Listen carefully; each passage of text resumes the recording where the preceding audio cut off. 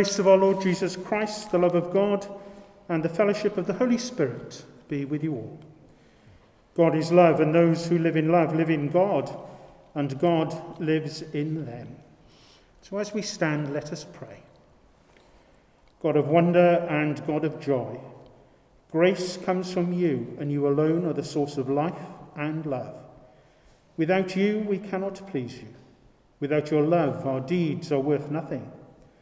Send your Holy Spirit and pour into our hearts that most excellent gift of love, that we may worship you now with thankful hearts and serve you always with willing minds.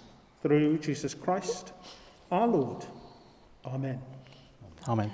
In the presence of God, Father, Son, and Holy Spirit, we have come together this afternoon to witness the marriage of John and Helen. We've come to pray for God's blessing on them to share their joy and to celebrate their love.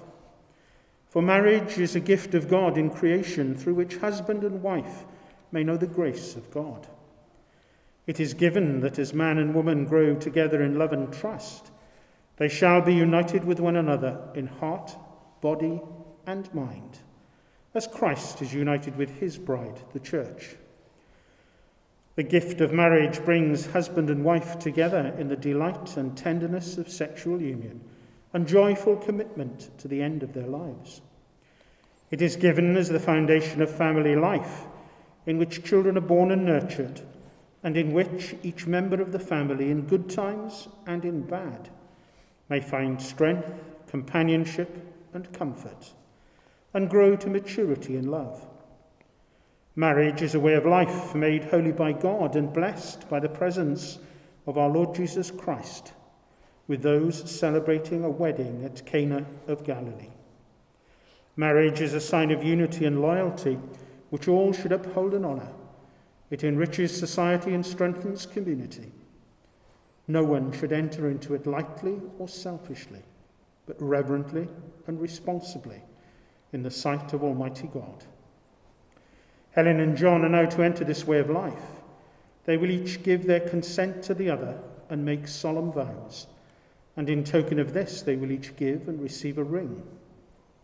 We pray with them that the Holy Spirit will guide and strengthen them, that they may fulfill God's purposes for the whole of their earthly life together. But first, I'm required to ask anyone present who knows a reason why these persons may not lawfully marry to declare it now. Helen and John, the vows you are about to take are to be made in the presence of God, who is judge of all and knows all the secrets of our hearts. Therefore, therefore, if either of you knows a reason why you may not lawfully marry, you must declare it now. John, will you take Helen to be your wife? Will you love her, comfort her, honour and protect her? And forsaking all others, be faithful to her as long as you both shall live. I will. Helen, will you take John to be your husband? Will you love him, comfort him, honour and protect him? And forsaking all others, be faithful to him as long as you both shall live. I will. Will you, the families and friends of Helen and John, support and uphold them in their marriage, now and in the years to come? It's a bit half-hearted. Try again. Will you, the families and friends of Helen and John, support and uphold them in their marriage, now and in the years to come? We will. It's better. so let us pray. God our Father, from the beginning you have blessed creation with abundant life. Pour out your blessings upon John and Helen, that they may be joined in mutual love and companionship, and in holiness and commitment to each other. We ask this through our Lord Jesus Christ, your Son, who is alive and reigns with you in the unity of the Holy Spirit, one God, now and forever. Amen. Amen. Amen. So please sit for the readings.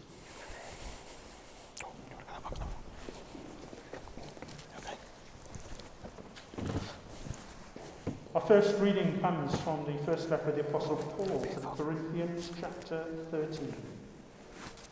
If I speak in the tongues of mortals and of angels, but do not have love, I am a noisy gong or a clanging cymbal. And if I have prophetic powers and understand all mysteries and all knowledge, and if I have faith so to remove mountains but do not have love, I am nothing. If I give away all my possessions and I hand over my body so that I may boast, but do not have love, I gain nothing. Love is patient, love is kind, love is not envious or boastful or arrogant or rude. It does not insist on its own way. It is not irritable or resentful. It does not rejoice in wrongdoing, but rejoices in the truth. It bears all things, believes all things, hopes all things. It endures all things. Love never ends, but as for prophecies, they will come to an end. As for tongues, they will cease. As for knowledge, it will come to an end. For we know only in part and we prophesy only in part. But when the complete comes, the partial will come to an end. When I was a child, I spoke like a child, I thought like a child, I reasoned like a child. When I became an adult, I put an end to childish ways. For now we see in a mirror dimly, but then we will see face to face. Now I know only in part, then I will know fully, even as I have been fully known. And now faith, hope, and love abide, these three, and the greatest of these is love. So, brothers and sisters in Christ, you really won't need me to tell you that the theme of today's reading is love. St. Paul, writing to his audience in Corinth, writes about the way in which their lives and relationships are in essence worthless if they aren't dominated by love. Helen and John, today you take your relationship, the love that exists between you, a step further, as you enter into a way of life blessed by God and to be lived together as husband and wife. A life of mutual love and support, where together you will stand strong against the difficult things the world has an unfortunate habit of throwing at you. The declarations that you have made and the vows you will shortly take show to the world that you have freely entered into a lifelong partnership that is dominated by love. Now, much of what we see in the cinema and hear in songs about love is contaminated. It's contaminated with self interest. Love is not so much what I give to the other person, but often simply what can I get out of the relationship. But not today. Today, in the coming together of Helen and John at their wedding, we see a rare thing in our world love that is completely selfless. Two people who are willing to publicly give themselves to each other, for richer and poorer, in sickness and in health, as long as they both shall live. A partnership of mind, body, and spirit between a man and a woman that shines out into a world that is, as we all know, desperately short of love. Theirs is the sort of love that promises, I will always be there for you, to care for you, to love and to stand with you until death do us part. Now, Jesus, who is spiritually here with us today, demonstrated that kind of love for us. He showed us a sacrificial love. And like him, so a husband and wife must be prepared to give their all for each other. The love that you share is also purifying love. So just as Christ sought to make us a people purified and lifted from sin, so the love that exists in marriage should be pure and uplifting, never confining or deceitful. Yours is a caring love. Just as Christ continues to care for us, so a loving husband cares for his wife, and she for him. Care that is freely given, not a selfish love or a love that's extracted or expected, but a love that is freely given, just as Christ's love and care for all his people is freely given to all.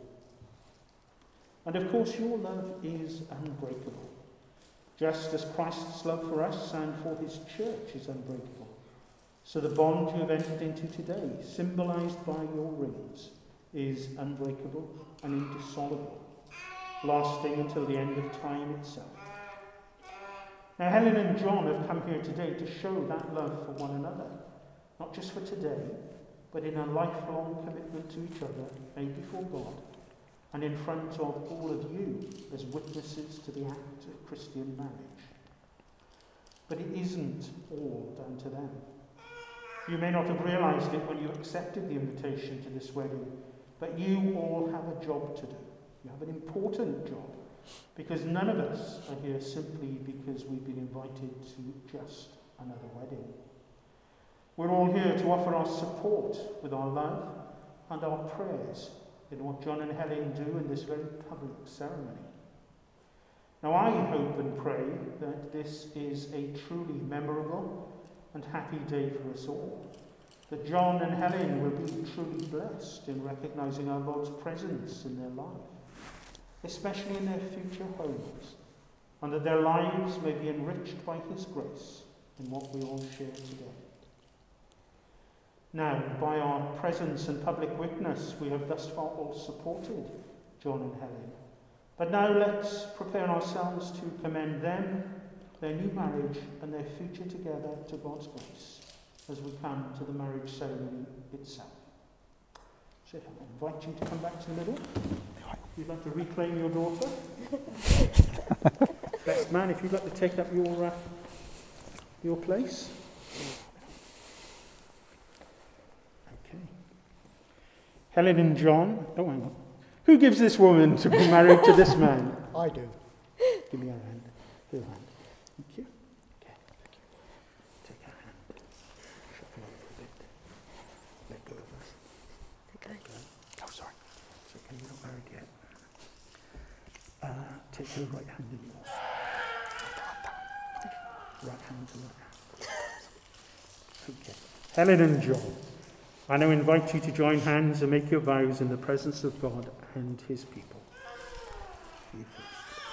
I, John, take you, Helen, I, John, take you, Helen, to be my wife, to be my wife, to have and to hold. To have and to hold. From this day forward, from this day forward, for better, for worse, for better, for worse, for richer, for poorer, for richer, for poorer, in sickness and in health, in sickness and in health, to love and to cherish, to love and to cherish, till death us do part, till death us do part, according to God's holy law. according to God's holy law. In the presence of God, In the presence of God, I make this vow. I make this vow. Let go. Pick his hand up in exactly the same way. Okay, say after me. I, Helen, take you, John, I, Helen, take you, John, to be my husband, to be my husband, to have and to hold to have and to hold from this day forward, from this day forward, for better, for worse, for better, for worse, for richer, for poorer, for richer, for poorer, in sickness and in health, in sickness and in health, to love and to cherish, to love and to cherish, till death us do part, till death us do part, according to God's holy law. according to God's ho- holy law. In the presence of God, In the presence of God, I make this vow. I make this vow. Okay, let go.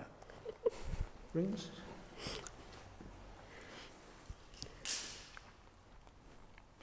Sit down. Take the ring, third finger of our left hand. Oh, hang on.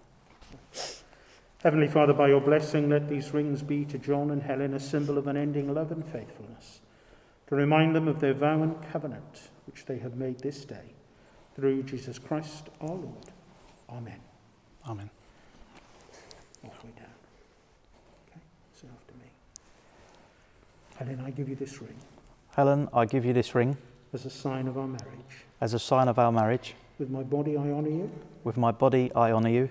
All that I am, I give to you. All that I am, I give to you. And all that I have, I share with you. And all that I have, I share with you. Within the love of God, Within the love of God, Father, Son, and Holy Spirit. Father, Son, and Holy Spirit. Okay, shove it on there. Told you. Okay. Your turn now. hmm Third finger of his left hand halfway down.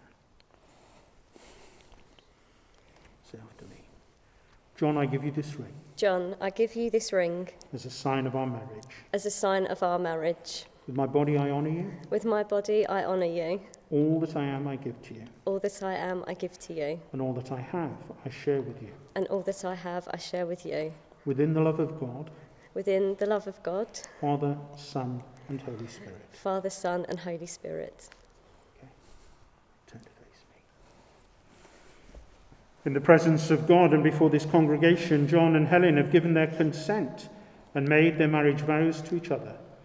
They have declared their marriage by the joining hands and giving of receiving of rings. I therefore proclaim that they are husband and wife. Hands. Your right hand here, right.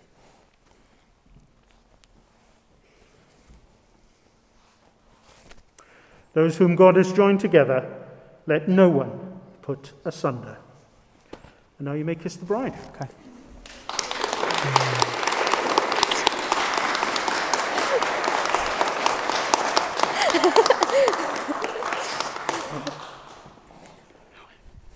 Blessed are you, O Lord our God, for you have created joy and gladness, pleasure and delight, love, peace and fellowship. Pour out the abundance of your blessing upon Helen and, Helen and John in their new life together. Let their love for each other be a seal upon their hearts and a crown upon their heads. Bless them in their work and in their companionship, awake and asleep, in joy and in sorrow, in life and in death. Finally, in your mercy, bring them to that banquet where your saints feast forever in your heavenly home. We ask this through Jesus Christ, your Son, our Lord, who lives and reigns with you in the Holy Spirit, one God, now and forever. Amen. Amen. Now may God the Father, God the Son, and God the Holy Spirit bless, preserve, and keep you. The Lord mercifully grant you the riches of his grace, that you may please him both in body and soul, and living together in faith and love, may receive the blessings of eternal life. Amen. Amen.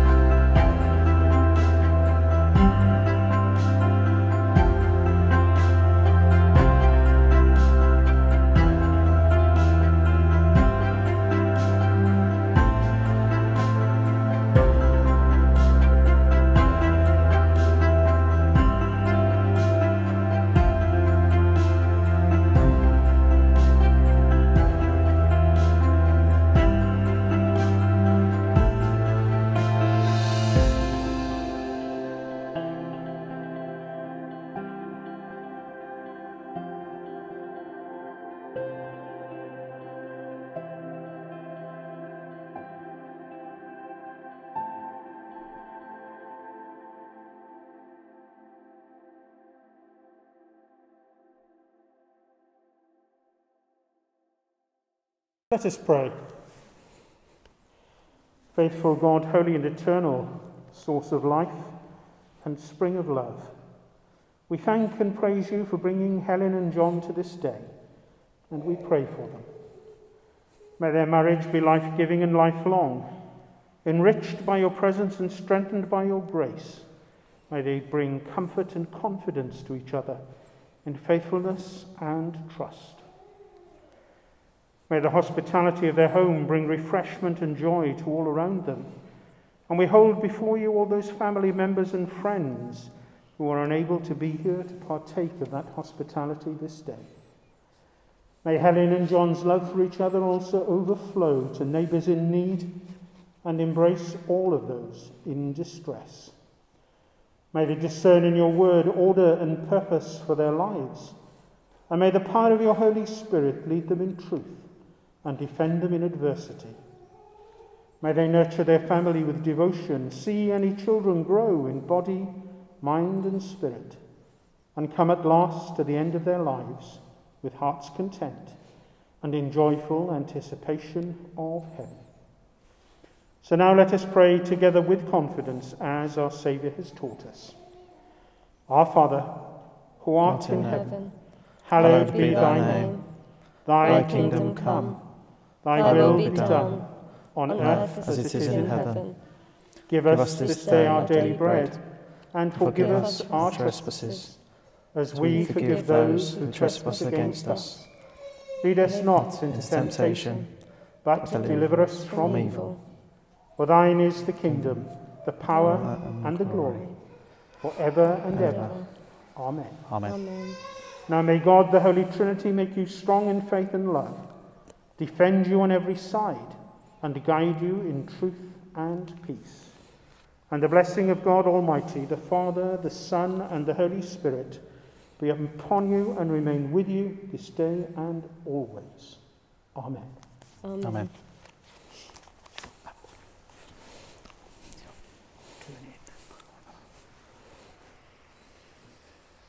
So please get standing to greet the bride and groom.